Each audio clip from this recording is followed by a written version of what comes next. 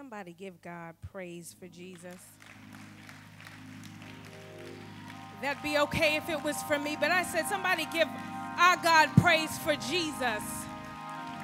You know, your risen Savior, the one who died on the cross for you.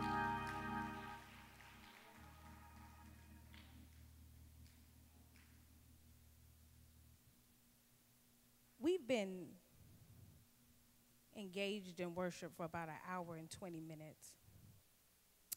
And we've had Kim come up, and uh, me and Pastor Queen kind of laughed because we said, She didn't preach. We don't really need to come up here and preach after she preached.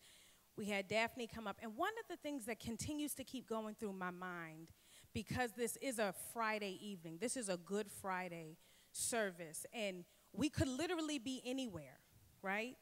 But this this weekend is the hallmark of our Christianity, right? And when I think about the concept of Good Friday, one of the things that comes to mind is the definition of good, right? You, typically, we think good is synonymous with a feeling, right?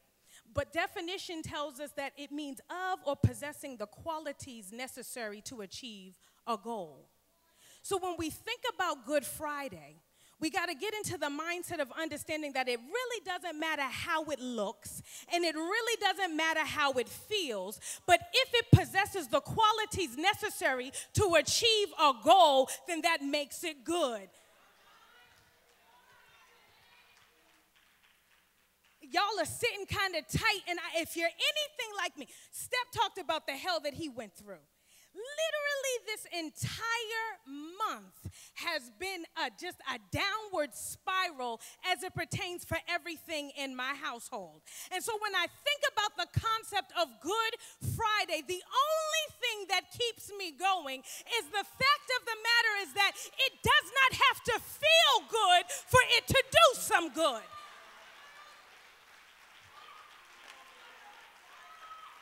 I don't know what brought you in here. I don't know if you needed someone to pump and to prime you, but I, uh, if we're saying that the theme is that we're being changed, what I really want you to understand is that there has to come a point where you decide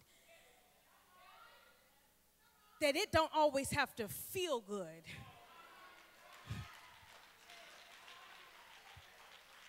It don't always have to look good. I, you know, my money could be acting funny and my change acting strange, but because I serve a risen Savior, it's all good. Matter of fact, it's all God on this Good Friday service. I really am not going to be before you long.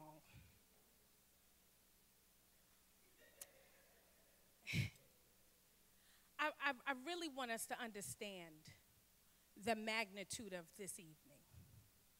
And, and, and, even more so, the magnitude of the theme being changed.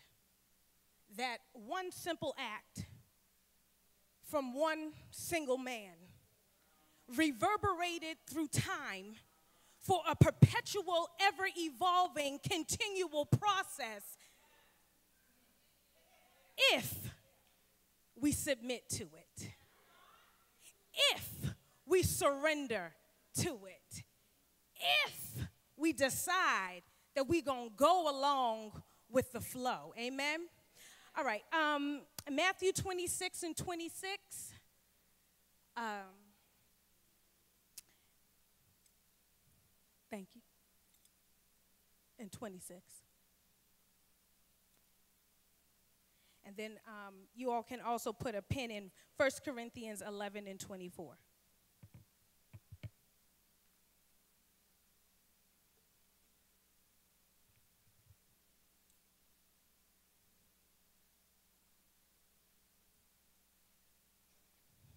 While we getting it on the screen, y'all have it? Say amen. If you still finding it, say hold up, swole up. We okay back there? You got it? Okay. and it reads As they were eating, Jesus took some bread and blessed it. Then he broke it in pieces and gave it to the disciples, saying, Take this and eat it, for this is my body. As they were eating, Jesus took some bread and blessed it. Then he broke it in pieces and gave it to the disciples, saying, Take this and eat it, for this is my body. 1 Corinthians 11 and 24 says, And when he had given thanks, he broke it and said, Take, eat. This is my body, which is broken for you. Do this in remembrance of me. Take, eat. This is my body, which is broken for you do this in remembrance of me. For a brief moment, I want to talk to you from the topic of becoming broken change. Becoming broken change. Already we have begun to hear all the different kind of adjectives describing the process of change. We've heard that it's anything but easy. Rarely is it pretty. Rarely is it short and sweet. Rarely is it a one and done. Rarely is it ever a smooth process. Change is awkward and can be slow.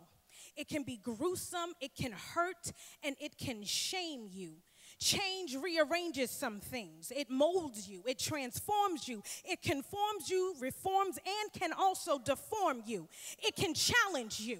It is a continual and ever evolving process. If you're not careful, change can and will wear you out. Change is something that will press you out of your comfort zone. I'm talking about change, y'all. Anybody know what change? Change is inequitable. It's no respecter of persons. It doesn't matter who you are, what your pedigree is, who your family is, who your mama, your daddy, your sisters, your cousins, your uncles, your brothers. It doesn't matter. Doesn't matter how much money you make. Doesn't matter how old you are, how educated you are, how attractive you are, how prepared you are, how careful you think you might have been. Change will find you for better or for worse. It's either going to learn you or churn you. Change is an adjustment that cannot be outrun. It will cause you to look at yourself differently. I've heard it said that change is not looking for a resting place, but a launching place. It exposes you and is only loyal to its intended outcome, stopping at nothing to achieve its goal because it will break you if it has to. I'm talking about change. And what I found is that change cares nothing about what I think of its process. It will, in fact, abandon me to my stubbornness because change is necessary and will happen whether I want it to or not. Change is, in fact, the only constant that exists and yet is equally the most resisted concept. Like truth, people like the idea of change until, of course, it comes time to change. And while it can be resisted, I have also learned that change is a process that's best greeted with a spirit of submission a surrendered posture to embrace what it seeks to introduce you to, what it seeks to develop and deepen inside of you. And I believe beyond a shadow of a doubt that if, in fact, we're ever really going to truly fulfill what it is that God has called and commissioned us to do, we must indeed submit to the process of change and avail ourselves to becoming broken change. Broken change. Broken by definition means disrupted by change. Change means a transformation or a modification, a deviation from what is considered normal. So, what am I saying? What I'm saying is that we must be willing to become disrupted for transformation. That is, we must be willing to have our everyday comings and goings interrupted, disrupted, and made awry simply so that, so that God can conform us and transform us into who it is He's called us to be. Tap your neighbor and say, It's time to become broken I said, tap your neighbor and say, it's time to become broken change. Y'all got to be obedient first.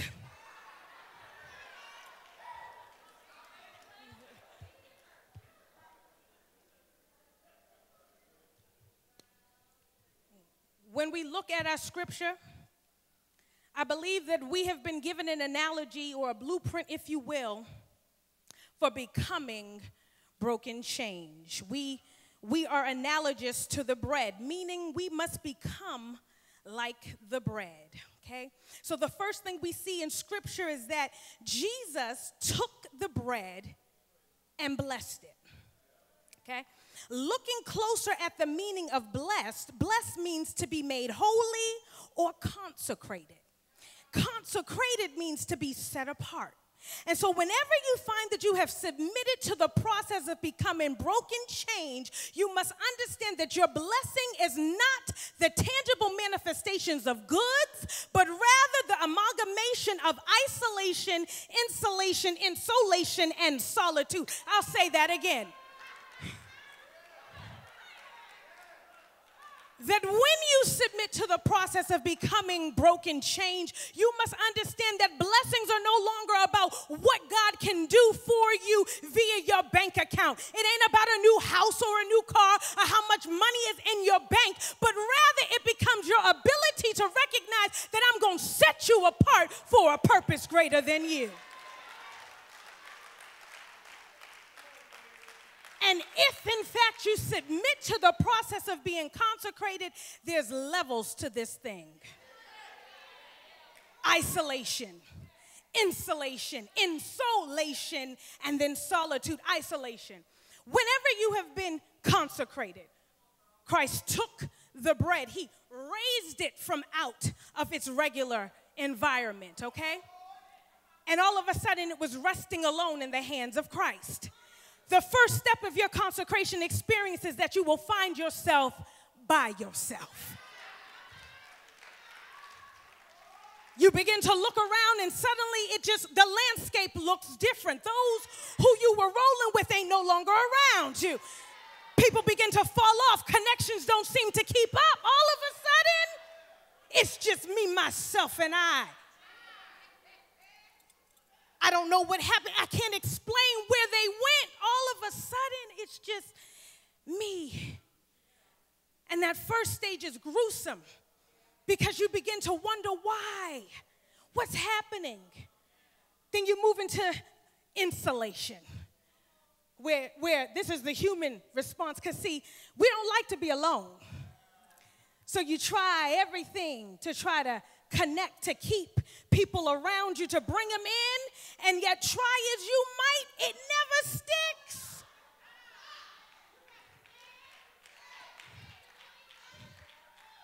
Things fizzle before they even get started.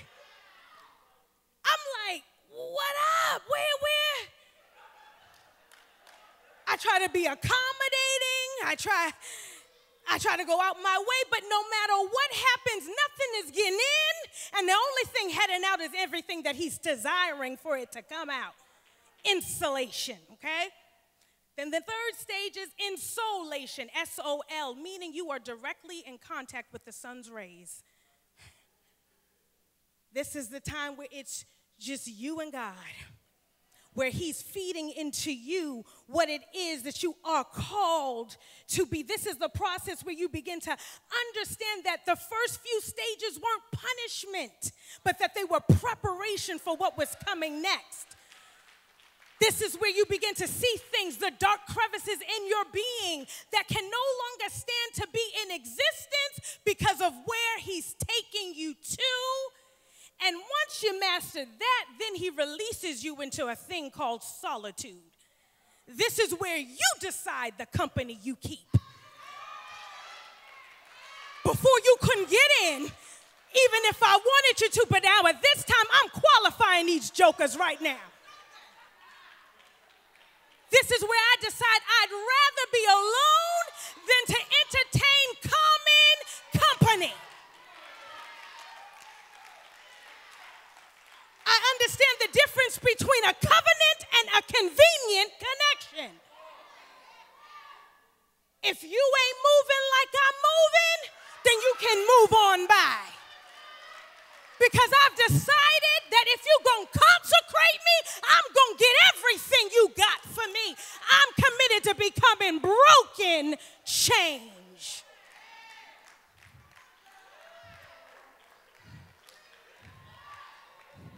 Yeah. Yeah. and you start qualifying some jokers. You got you start paying attention to how people move. You you start watching that what they say doesn't line up with what they do. I I see you because I see you.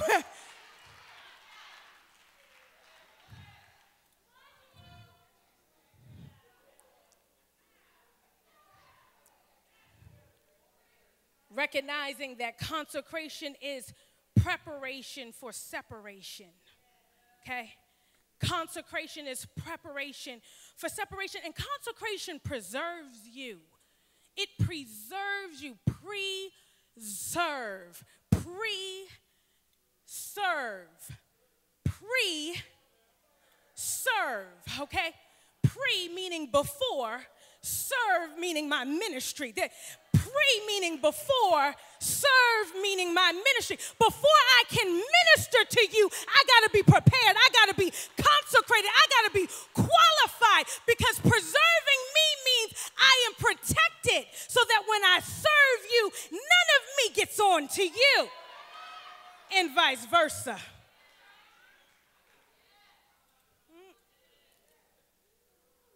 First step consecration and I'm almost finished, I promise. Consecration. Jesus takes the bread, holds it in his hands. Now it's elevated. Understand that this is necessary, okay? Because it's in the consecration phase that you understand that consecration, while it's preparation for separation, it also happens via elevation, which means I now have a perspective about what it is I'm about to go through if I stay low, then I'm going to mistake what happens to me after this. But because I've been elevated, I have a vantage point that enables me to see what it is I'm going through. I begin to recognize that He's not punishing me, He's preparing me. And if He's preparing me, that means He's about to send me. Because when He sends me, I got to accomplish a task. Come on. But I can only if I'm willing to be interrupted, to be transformed. I'm willing to become broken, change. Come on, somebody say, broken change. Broken change. So he he picks it up. He's elevated it. It's resting, it's still resting in the master's hands.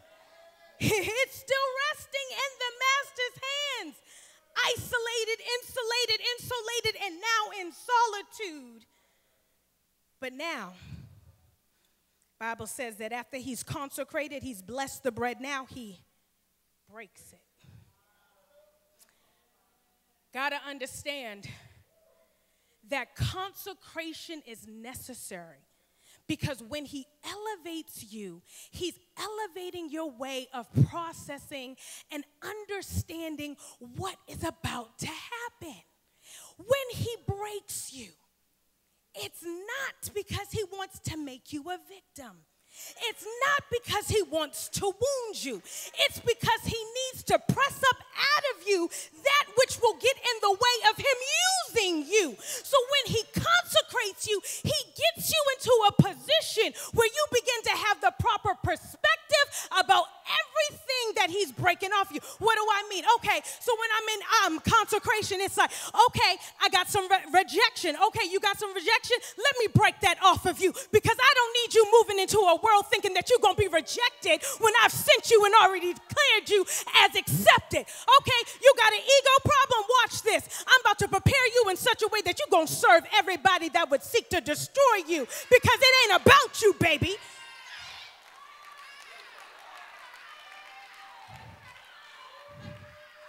Got some unforgiveness? I got something for that too. Whatever it is that's in the way, God's gonna break you. He's gonna disrupt it to transform you so that you can be broken, change.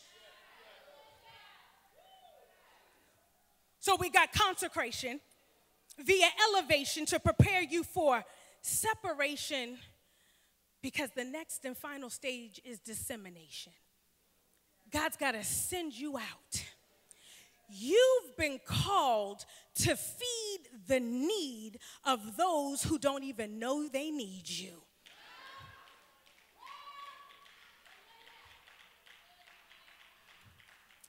Take, eat this is my body, which is broken for you. Do this in remembrance of me. I need you to understand that I'm breaking you in areas that are going to allow you to meet the needs of those who you will come in contact with. You've been called who would like to slay you, who would like to reject and deject you, those who would like to tear you down, those who think they have no need of you, people who would like to ostracize and count you out. You've been called to feed their need.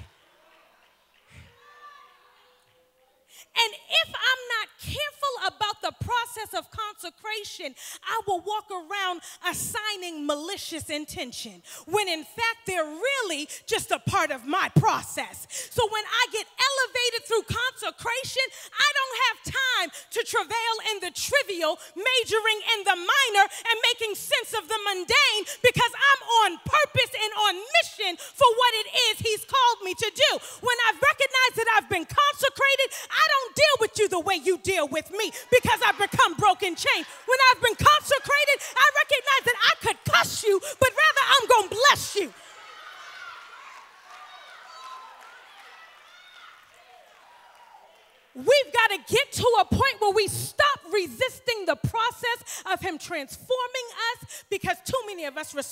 of our flesh. Broken disrupted, change, transformation, broken, interrupted, change, transformation.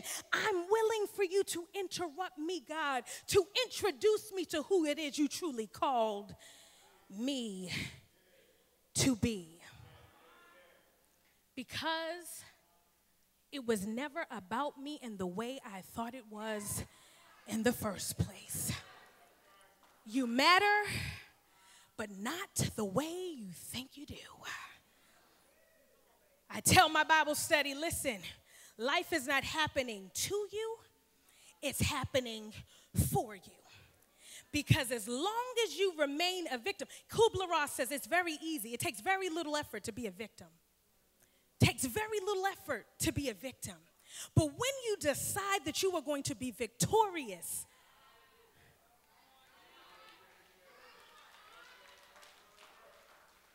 when you decide that He has called me for greater, that He has called me to impact and infect change, when you realize, when you not only realize but accept it, then you realize I don't have time to do what you do. It ain't about blaming or shaming. It's about being real, and I'm on kingdom mission. So if you set me apart, God, I'll, I'll rest in your hands. If you set me apart, God, I'll rest in your hands. If you set me apart, I won't resist the process because I need to come into the fullness of who you've called me to be. I'm tired of the cycles of my choices. I'm tired of running in the rhythm of my routine. I'm tired of living lower than what you've called me to be. I'm tired of thinking that all there is is to life is what I wake up and see. I'm tired of never meeting my goals. I'm tired. I believe that there's greater in store. I believe that there's more for me than I see. I believe that greater is in me than he that is in the world. I believe he's able to do exceedingly and abundantly. So if I got to access that, then I've got to submit to the process of being interrupted to be transformed into the likeness of the one who did one single act to reverberate through life. God bless you. God bless you. God bless you. Broken change. Broken change. Broken change means I doesn't have to feel good for it to be some good. I'm surrendered to the process. Lord, interrupt me and introduce me to who you've called me to be. God bless you.